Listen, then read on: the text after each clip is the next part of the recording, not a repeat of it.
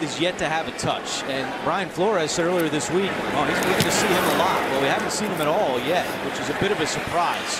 Cyrus Jones on the punt return, and he calls for a fair catch around the 10-yard line. He's 6 out of 11 for 49 yards in the interception as Matt Haack punts it away. Cyrus Jones from his own five-yard line.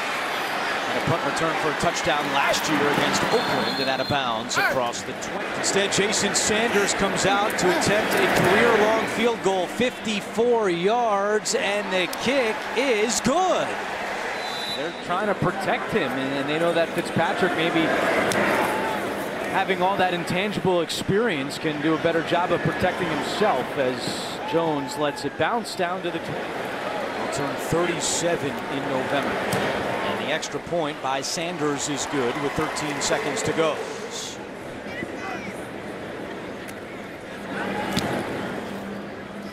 Good kick by Haack. Jones backtracks to his own 15.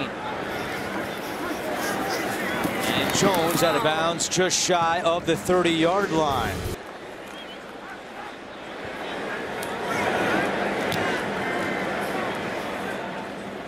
Cyrus Jones calls for a fair catch at his own 15-yard line. Coming to work every day. Sometimes you get in your position room meetings and you'll have a guy who wants to have a pity party because things aren't going well. You got to distance yourself from that type of player. At the end, at the end of the day, James,